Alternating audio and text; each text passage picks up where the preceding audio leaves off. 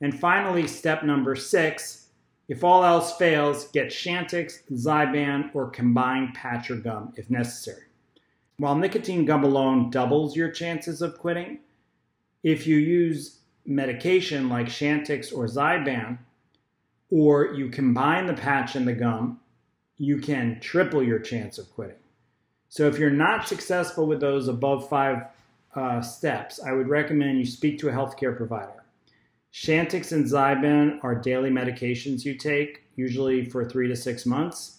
The combined patch and the gum means you wear the patch each day, a new one each day, and you chew the gum as you're already doing throughout the day.